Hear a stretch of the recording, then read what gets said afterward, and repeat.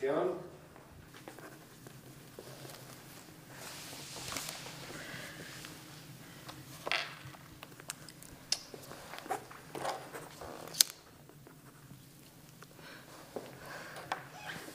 Dime una cosa.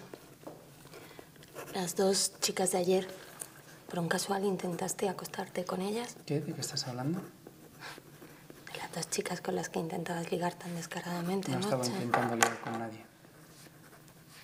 ¿Quiénes eran? Solo un par de modelos. ¿Y dónde desapareciste con ellas tanto tiempo? Espera un momento, no desaparecí con nadie. Sigler no se encontraba bien y me llamó para que subiera a verle. Por cierto, ¿quién era ese con el que bailabas? Ah, un amigo de los Sigler. ¿Qué quería? ¿Qué quería? Quería sexo. Eso es todo. ¿Eso fue todo? Solo quería acostarse con mi esposa. Me parece comprensible. Comprensible. Sí, porque eres una mujer muy guapa. ¿Estás diciendo que porque soy una mujer muy guapa, un hombre viene a hablar conmigo solo porque quiere sexo conmigo? Bueno, no creo que sea tan blanco negro, pero los dos sabemos cómo son los hombres. Por esa premisa yo también puedo pensar que querías sexo con las dos modelos ayer. Hay excepciones. ¿Qué te hace a ti ser una excepción? Lo que me hace ser una excepción es que casualmente estoy enamorado de ti, ¿eh? Y estamos casados y nunca te haría daño ni te mentiría. Estás diciendo que no te, no te acuestas con ellas por consideración a mí, no porque realmente tú no quisieras. Alice, vamos a relajarnos, ¿vale? Esa hierba te está poniendo No es la agresiva. hierba, eres tú. ¿Por qué no me das una puta respuesta clara? Tenía la impresión de estar haciéndolo. Ni siquiera sé que estamos discutiendo. Yo no estoy discutiendo, ¿sabes? Estoy intentando saber de qué vas. ¿De qué voy? Sí, ¿de qué vas? A ver, por favor, pongamos un ejemplo. En una consulta, una mujer hermosa, desnuda, tú le estás tocando las tetas. Dime, por favor, en qué piensas. Alice, soy médico, todo es impersonal y tú sabes que siempre hay una enfermera presente. O sea, que solo tocas tetas por profesionalismo, ¿no? Exacto. El sexo es lo último que pensaría con ¿Y una ella? paciente.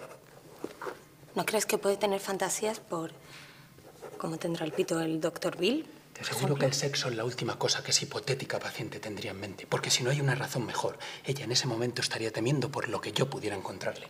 Vale, y cuando le dices que no tiene nada, entonces ¿qué? ¿Qué? ¿Entonces qué? No lo sé, Alice. Las mujeres básicamente no piensan así. Millones de años de evolución, ¿verdad? Los hombres la pueden meter donde quieran, pero las mujeres no. Tiene que ser compromiso y seguridad y Algo no sé qué más. pero sí, algo Sí, si los hombres supierais. Te diré lo que sé. Lo único que sé es que estás colocada, que quieres reñir conmigo y que encima pretendes ponerme celoso. Tú nunca tienes celos de mí. No, no los tengo. ¿Nunca tienes celos de mí? ¿Por qué nunca tienes celos de mí? No sé. Tal vez porque eres mi esposa y tal vez porque sé que nunca me serías infiel. ¿Qué seguro estás de ti mismo? No, estoy seguro de ti. ¿Te parece que esto es divertido? Y ahora me vienes con un ataque de risa. Bill, ¿recuerdas las últimas vacaciones en la playa? ¿Te acuerdas de una noche en el comedor con ese oficial de la Marina sentado al lado cenando? Que un camarero le trajo una nota y se marchó en ese momento, ¿te acuerdas? No. Vale. Yo lo vi por primera vez esa mañana, en la recepción. Estaba recogiendo sus maletas, me miró. Fue solo una mirada, pero me dejó inmóvil. Esa noche tú y yo hicimos el amor. Hicimos planes para el futuro. Y te juro que en un solo momento olvidé su mirada en mi mente. Y pensé que si me deseara una sola noche, lo dejaría todo. Los planes, el futuro, tú, todo.